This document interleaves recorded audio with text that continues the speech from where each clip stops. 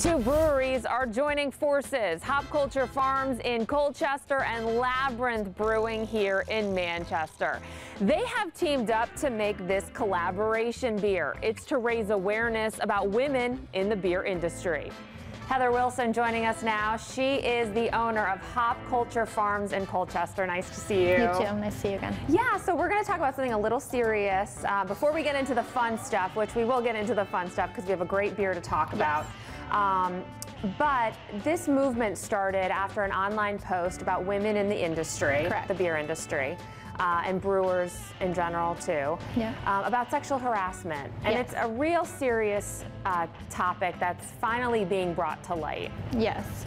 Um, there was a brave woman, uh, Brienne, who works at Notch Brewing, which is in Salem, Massachusetts, and it was a simple Instagram post talking about talking or asking women, have you ever felt marginalized or have experienced sexual harassment within the industry? And thousands of women came forward, and it was from as simple as oh people don't think I can be a brewer because I'm a woman to blatant sexual harassment that has started a nationwide movement with um, bringing awareness to sexual harassment and marginalization of women within the craft beer industry. It's amazing that there's been thousands of comments on that. Yes, um, And I'm sure, and growing. Yeah, and you know, I think it's growing, and I think it's um, allowing or, or asking for people to look within their own tap rooms, within their own small communities, to say how can we do better? What is the culture of our tap rooms, and how do we treat our women within you know the four walls of our businesses? And I think it's important, and it's um, a worthy cause to bring light to. So here in our own community, the beer industry is trying to do more. Yeah, um, I think that there's been a lot of talk within all of our breweries, um, and thankfully, I think we have a lot of respectful men, including the you know the men and the owners of Labyrinth Brewing who had asked me to do this project with them, and I'm very honored that they you know they wanted to work with me on this to bring awareness to this uh, you know problem within the industry. But um, you know, there's we have a diversity, uh, an inclusion and diversity um, committee that just started within the Connecticut Brewers Guild, which I'm the secretary of, which is working on messaging so that not only from just staff but also from patrons, how you know we want to create cultures of respect. Um, for everyone and you know inclusion for everybody. And women were the first brewers anyways if you know if nobody knew that. You know women were the first brewers. So um, you know i think that we deserve a seat at the table. And i think with awareness with more education on it we will you know we will have those deserving seats.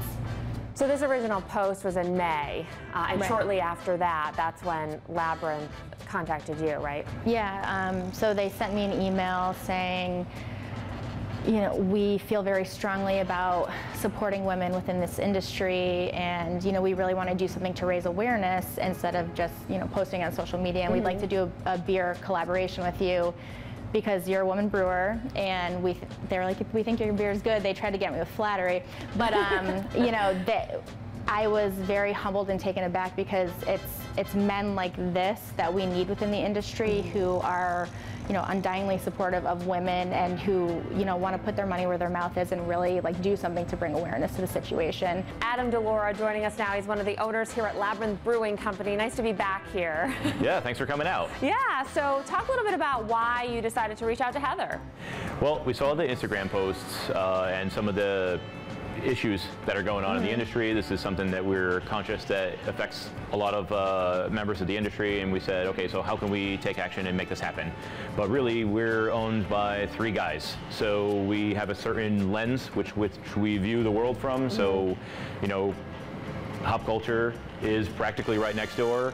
It's female owned. Heather makes amazing beer, so we try, figured let's see if we can get her on board and see if we can get her perspective and you know put something cool together that empowers a female owned brewery but also helps women in the industry. That's great. So this collab beer. Yes, uh, What yeah. What is it? Tell us all about it. well, I mean, it's an IPA, obviously, right? What are we brewing these days? Yeah. IPAs. Um, and one of the cool things is that uh, Hop Culture is a farm brewery, and so we use some of the Cascade hops that uh, Heather and her crew grow on her farm Great. Uh, to add some flavor to the to the beer itself. so you said you're using those Cascade hops. How hoppy are we talking?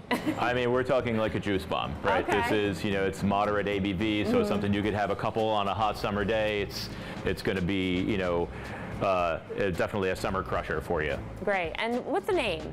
Uh, past the Looking Glass. That's great. And I love the label. Um, the label's amazing. Most of that was sort of Heather's idea, how you know the whole like uh, breaking through the glass ceiling kind of concept. So the label's got a a woman brewer with a baseball bat smashing a, a window like a glass or whatever. Sure. So it's very visual. We wanted something that was going to reach out and say, hey, this is this is what we're about. Mm-hmm. And the proceeds, Adam, are going to a great cause. Yes. So, you know, we wanted to donate to a cause that is actively helping people who are victims of abuse and violence in our local community. And so we chose to give a portion of the proceeds to Interval House uh, out in Hartford. Um, they're one of Connecticut's largest domestic violence service providers. So that was the first place that we thought to kind of help out.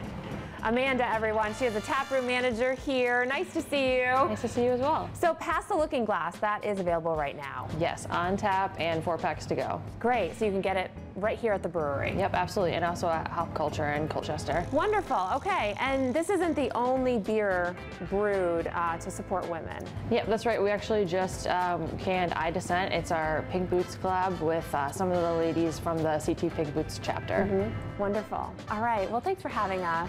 Thanks for coming and helping us shed light on this. Absolutely. All right. Let's toast. Cheers. Something's brewing. Thank you.